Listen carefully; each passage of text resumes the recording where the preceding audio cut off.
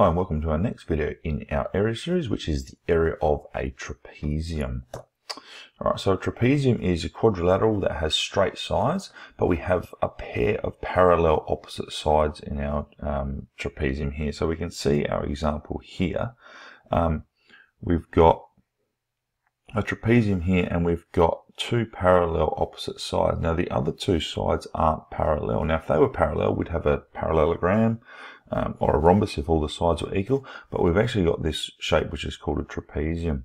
Now basically the formula for this is the average length of those parallel sides multiplied by this vertical distance between the sides. And you can see there it's got the formula a plus b, so a at the top here, plus b divided by 2 multiplied by the vertical height.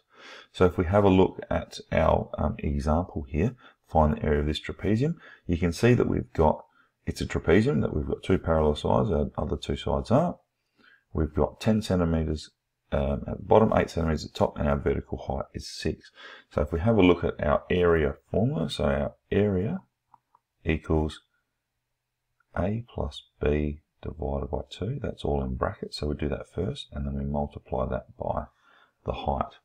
Alright, so our area, now substitute, equals a, which is 8 up the top here, plus 10 divided by 2, multiplied by the height, which is 6. So if we calculate our brackets, we've got 18 divided by 2, multiplied by 6.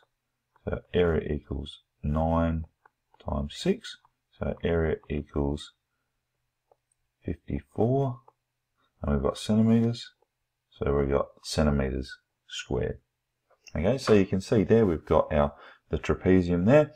Um, we've followed our formula, substituted in, and we've calculated that. So that's that's the area of a trapezium. That's how to calculate that.